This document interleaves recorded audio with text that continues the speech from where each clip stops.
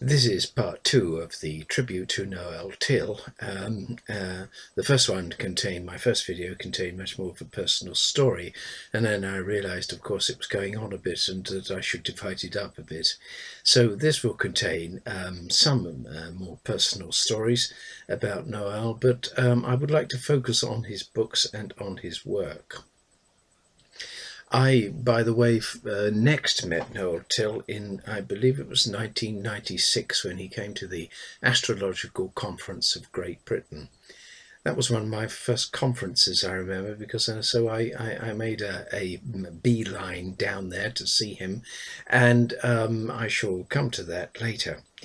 Um, but the I'd like to start with Noel's uh, birth in 1936 in the United States. He was named Noel Jean Tyl, or Jean Tyl, I can't remember how to pronounce it, uh, but that suggests something of a Dutch name, the J-A-N. It means John, and something like uh, God is um, fortuitous to you. It's something uh, of that nature. So it's just something of the Dutch in him. Uh, perhaps this was his father. We don't know much, or I don't know much about that. It's not particularly important to know, except that um, uh, there were some, he was just born before the war.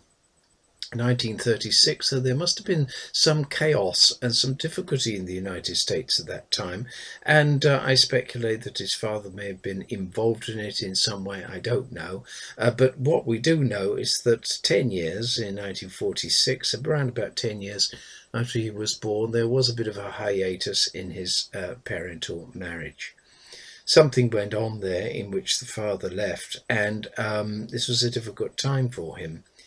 Uh, obviously, the man is growing up to be six foot seven. There is uh, some difficulty around, and there is no, there's a missing father image in the early home. This we'll have a look at his birth chart at another time, and this is, stuff is quite well known anyway because he's covered it in a variety of different books, uh, some of his life history, um, showing us how about the uh, uh, in, particularly in predictions in astrology, he covers some of his history in there, combined with the progressions and transits involved. But it's around about the age of uh, 10, as to say, that the father leaves and um, I, I, believe I'm right in saying that uh, another man enters the, the scene, um, uh, probably a the, the next uh, partner of his mother, and um, something happens in him to brighten up his days.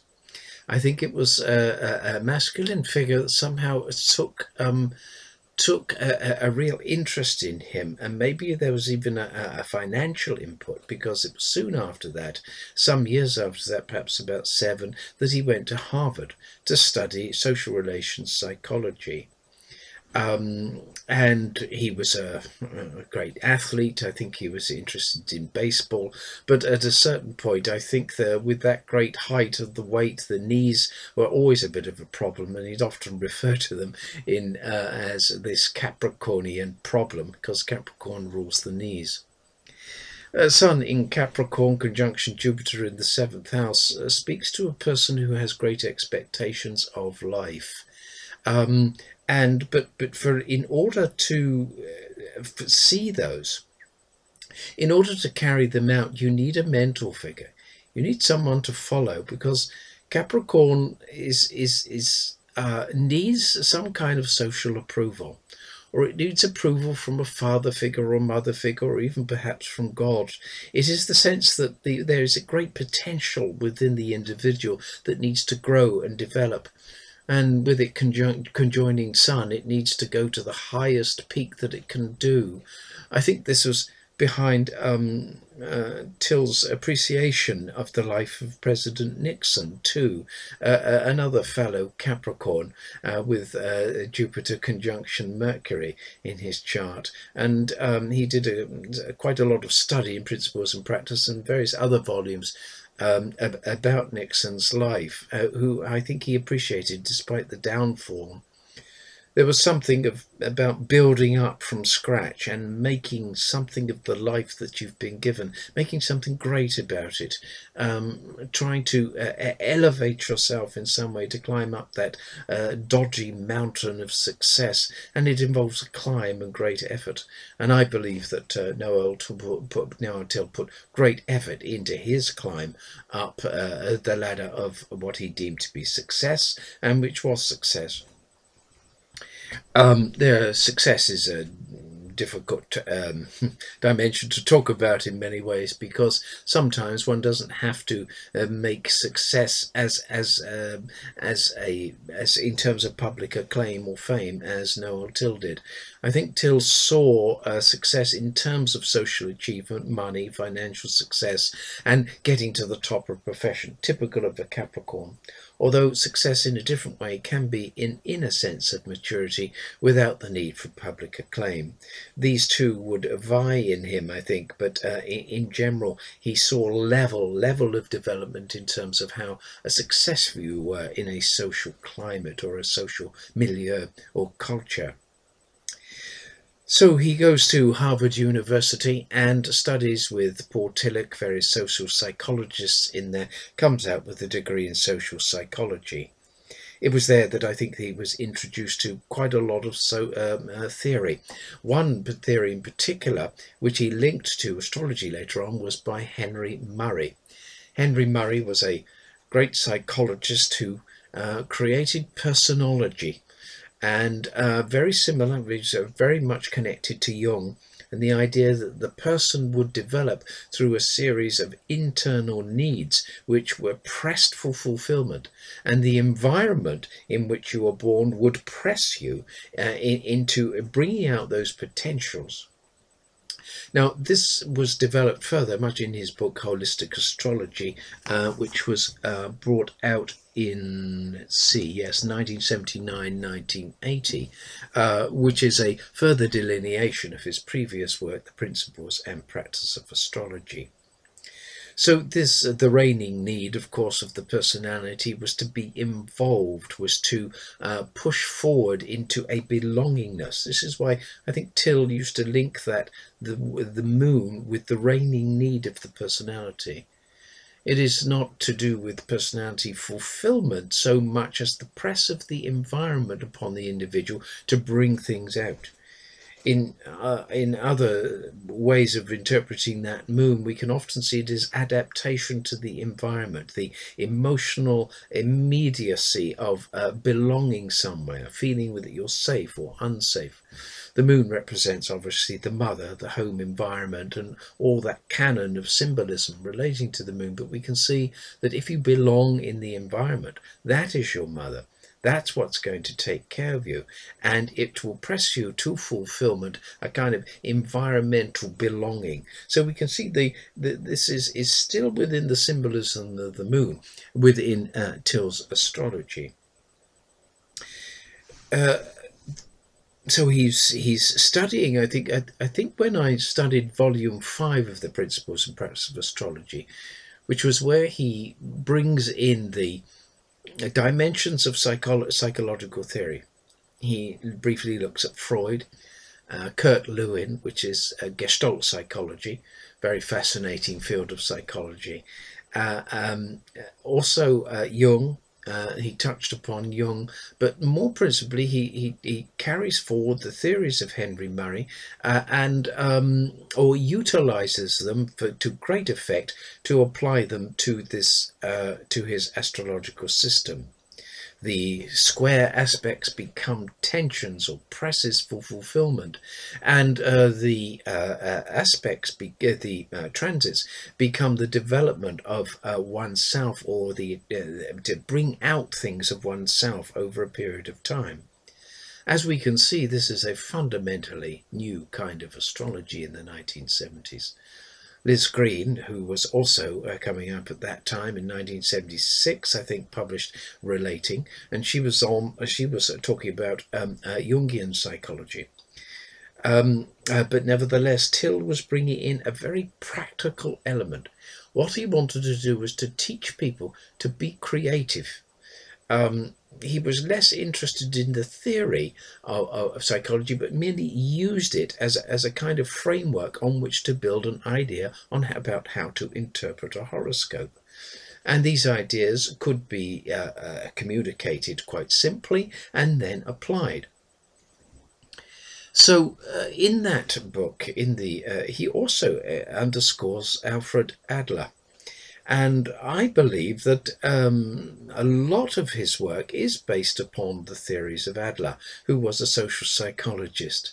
Um, he was one of the depth psychologists stemming from a pupil of, as, a pupil of Freud, the same as Jung was, and Wilhelm Reich, uh, and Alfred Adler, I think, and Jung, of course, all pupils of Freud in the early part of the, uh, uh, the 20th century. Um, but they branched off into their own fields of endeavour, and Adler particularly saw one's involvement with society as a, as a as not as a cure exactly, but the the environment is where we live. Uh, Tyl calls this an awareness of the outer environment and its interplay with the inner environment. That's where that book Holistic Astrology comes in. It's the interplay of inner and outer. It's quite a good book, that, because it not only summarizes uh, all of what he's uh, spoken about before, but uh, shows a, a, a, system of detailed cases in which um, he, he further amplifies the psychological system of social involvement and the, the emphasis on bringing out our stuff, uh, bringing out our potentials in life, uh, in, in, in order to uh, progress ourselves along a course of cultural maturation. So that Capricorn, that desire to instruct, the desire to be a a, a paternal um, a guide, a mentor figure.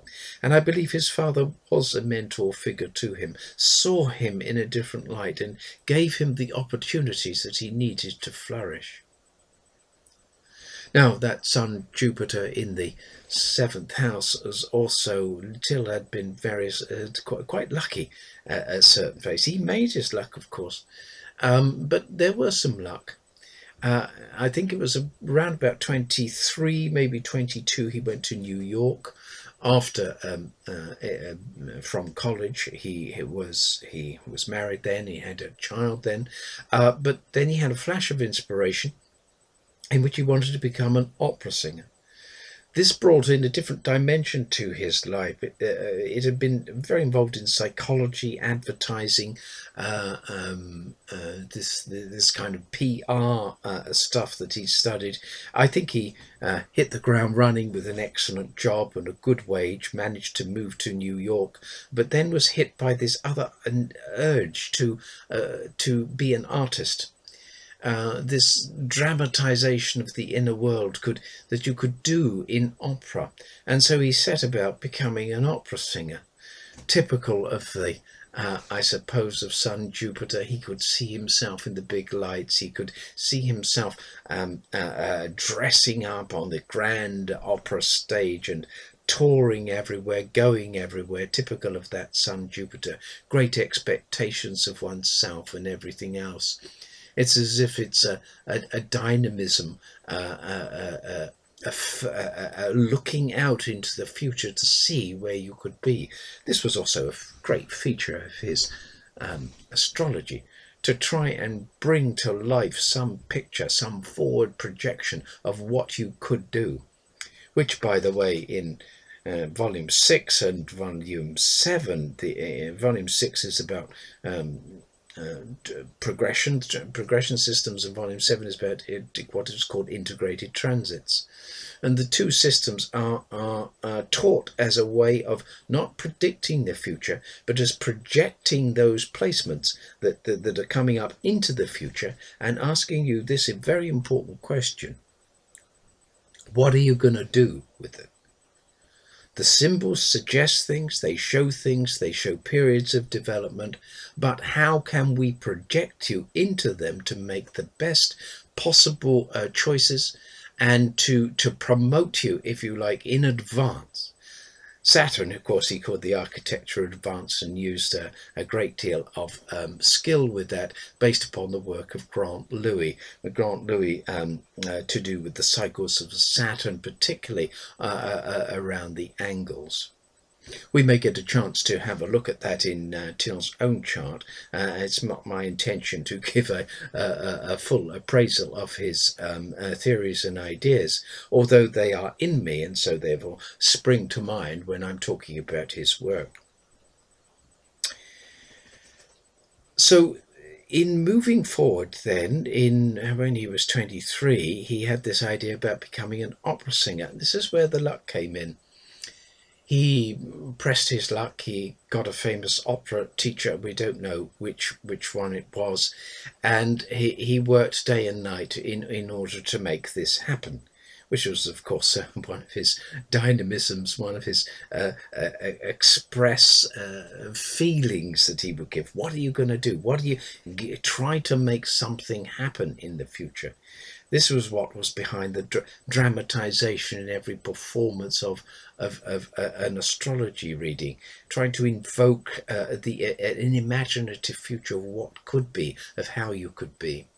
Later on, this was uh, shown after he wrote uh, Synthesis and Counseling in Astrology in his master course. Um, he wrote, uh, Be the best astrologer you can be. it has been um, humorously I suppose, and uh, humorously said about Capricorn the goat that G-O-A-T means is an acronym called the greatest of all time, G O A T. And indeed, it seems the sign of Capricorn have their eye on greatness, have their eye on fulfilling the best possible potential in life, to take it from the bare beginnings of potential and transform what is there through the fish. The fish, fish side of the sign is that which um, which is potential only. It's swimming around in the sea. It's unfulfilled. It's it's its thoughts, its dreams, its fantasies. But the Capricorn side is the lifting up out of the uh, out of the self and to ground it, to make it real, to make it solid, and then take it to the top of the mountain, so that you are overseeing the um, the, the uh, overseeing the world, almost master of the world in a way, master of your own uh, uh, di uh, human dimensions. Sometimes, of course, that can get a little bit grandiose. One can uh, place oneself at the top of the mountain, and that can be a little bit too prideful. Maybe there was a bit of that in Tyl too, uh, but nevertheless, he had a sense of wanting to produce a better, bigger, more creative future, both for himself and all of his clients. So he goes into the story as well known that he goes to an opera uh, uh, competition, the America Opera uh, competition, and wins it. He only had two um, two arias to sing, and somehow it slipped through as a curious thing in the auditions in which they he sung the first one and the second one that he that they chose was the other one that he knew. He didn't. He he had to put eight on a list, but they chose the right one. He was called back and uh, or, uh, uh, sung the Barber of Seville, I believe it was. And interestingly enough, by luck would have it, that was the opera that was going to be done in Italy. So he already knew the part. He, he didn't know this, of course, and this is the luck of Jupiter sometimes. Of course, they rang back a few days later and said that he'd won. This would mean uh, around about uh, 20, well, whenever it was, perhaps 19, early 1970s. Uh, sorry, that would be like 1968, 69.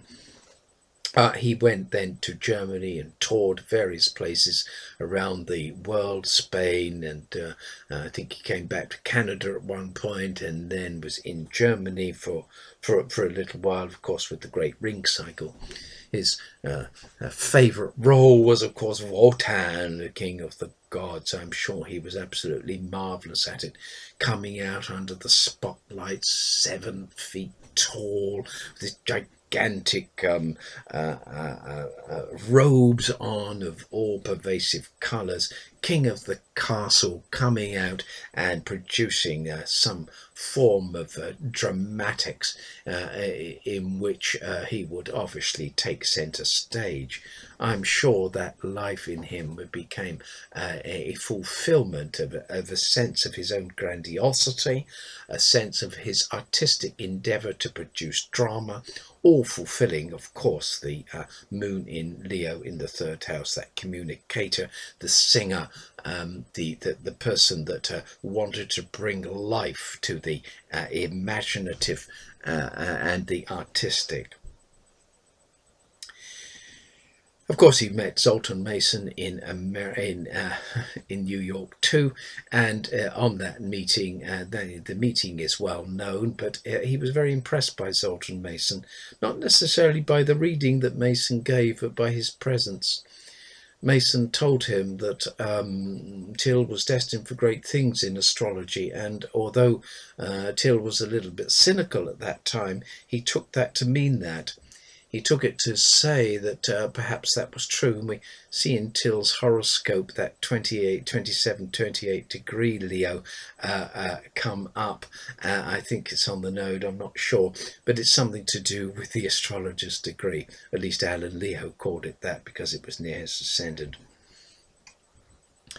So he goes to um, uh, Italy to do all that, and a few years later, towards his Saturn return, his back gives out.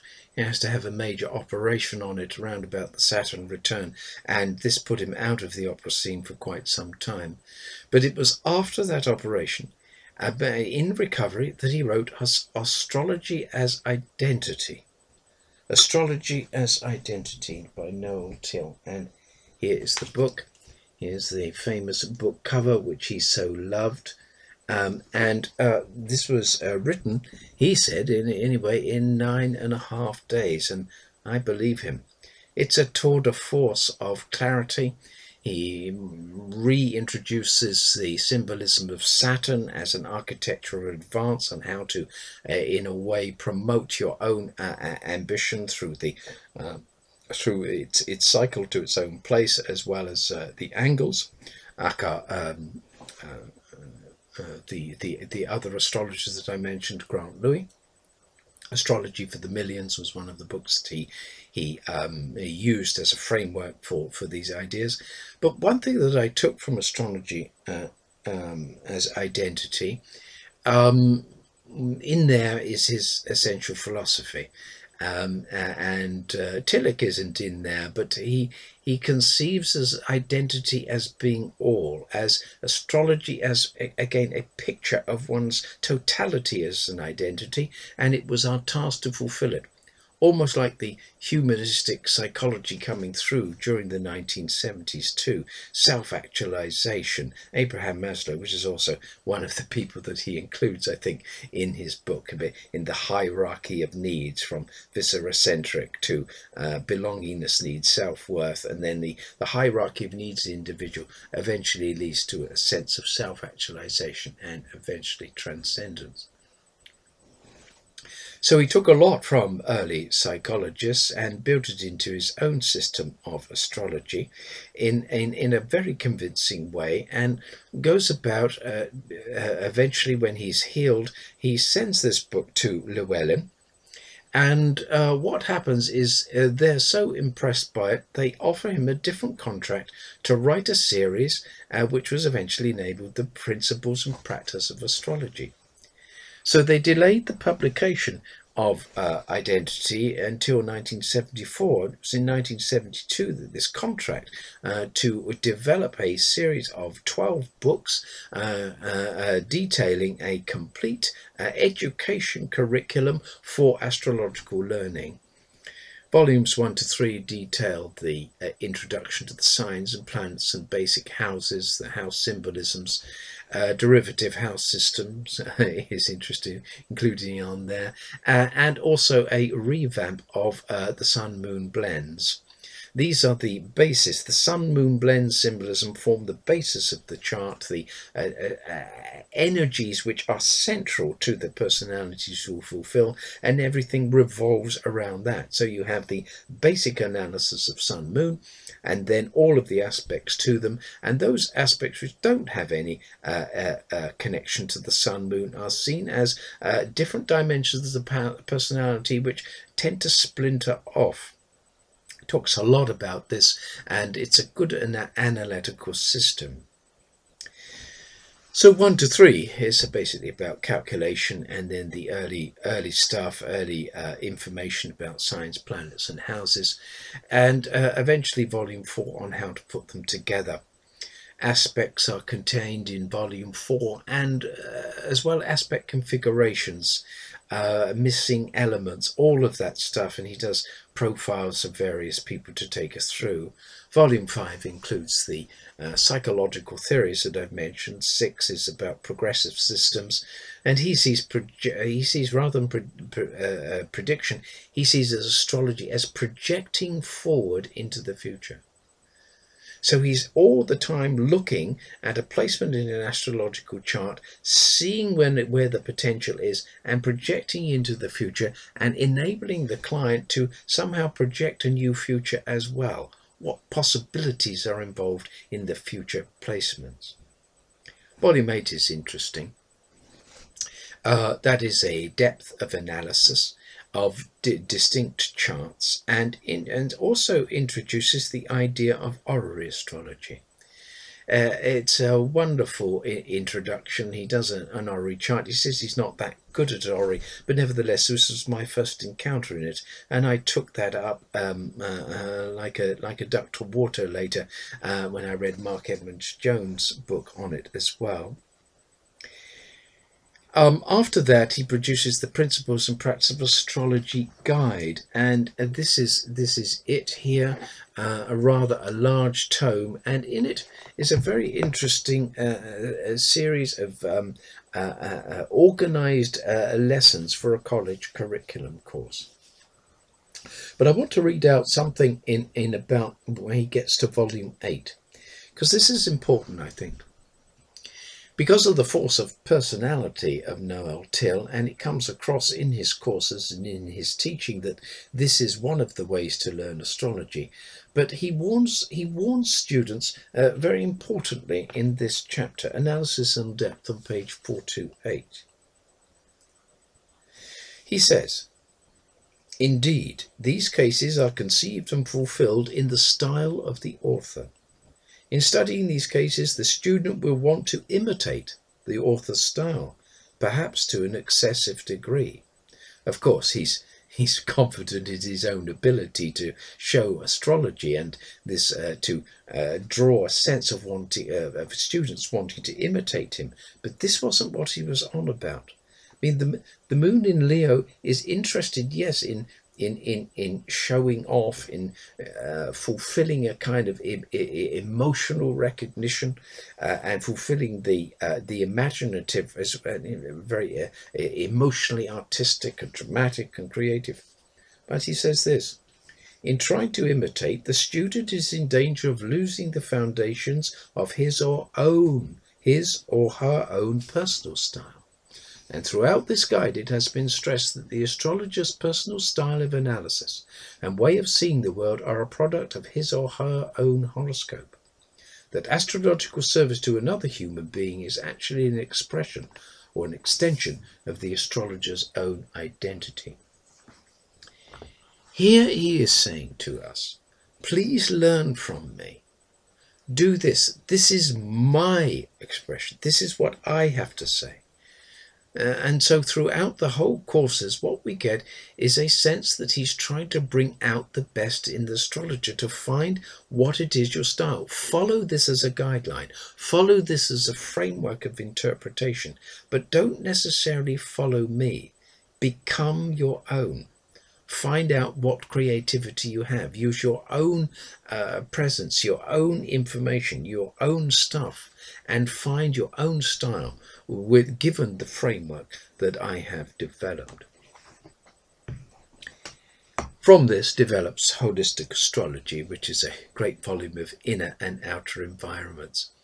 He introduces the idea that uh, people are either victimized by their environment, they are uh, they either reflect their environment in many ways don't become unique but simply part of the cultural canon of what is usual or you can seek to change your environment these three processes were intrinsic to that book, and I think they're very helpful as key clues. Because when a client comes to see you, are they victimized by circumstances?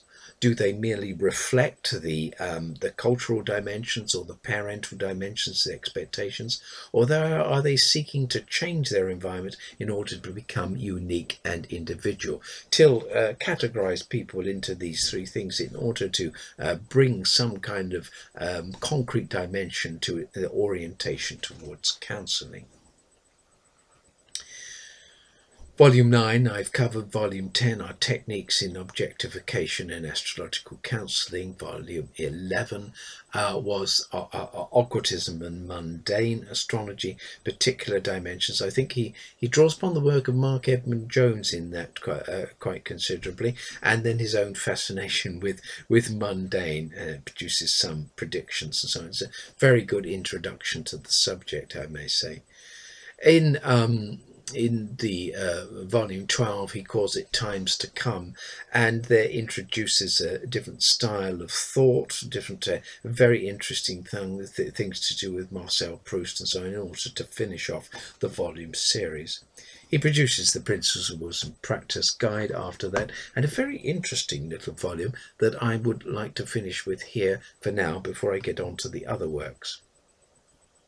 It's this one the Missing Moon. It's called The Case of the Missing Moon and Other Case Studies. Here he enters a fantasy world of uh, different charts and uh, he introduces the element of play, so typical of the Leo.